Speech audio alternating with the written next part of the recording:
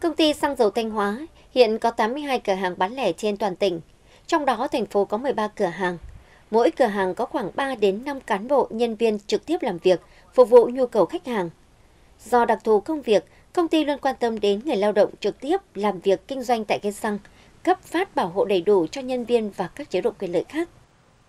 Công ty cũng rất là quan tâm đến ờ, công nhân của chúng tôi, có những cái ờ, Ờ,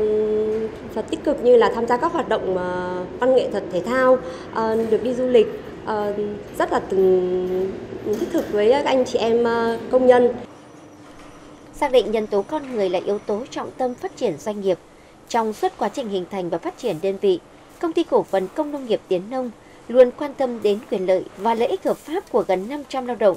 Ngoài đảm bảo mức lương bình quân cho công nhân 11 triệu đồng một tháng, công ty còn quan tâm đến đời sống tinh thần và vật chất đầy đủ như chế độ xăng xe, bảo hộ lao động, bố trí khu ăn nghỉ cho công nhân buổi trưa và những công nhân xa ở lại. Cái việc mà chăm lo đời sống, việc làm môi trường làm việc cho người lao động nó vừa là trách nhiệm vừa là quyền lợi của doanh nghiệp. Làm sao đó để người lao động xem cái nơi làm việc,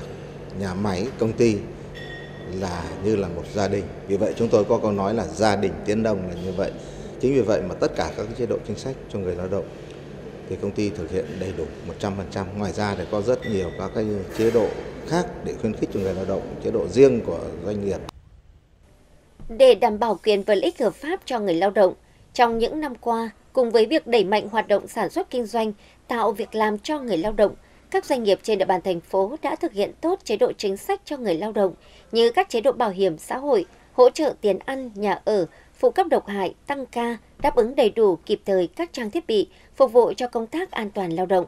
Phối hợp với tổ chức công đoàn, thăm hỏi động viên tặng quà cho các gia đình người lao động có hoàn cảnh đặc biệt khó khăn, hỗ trợ xây dựng mái ấm công đoàn cho đoàn viên khó khăn về nhà ở, phát động và tổ chức sâu rộng các phong trào thi đua, các hoạt động văn hóa, văn nghệ, thể dục thể thao nhằm nâng cao đời sống vật chất, tinh thần cho công nhân, người lao động. Để, để quan tâm đến đời sống cán bộ công nhân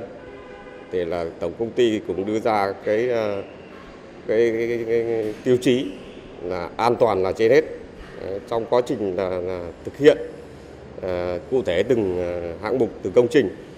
thì là công ty vẫn là sát sao chăm lo đời sống cán bộ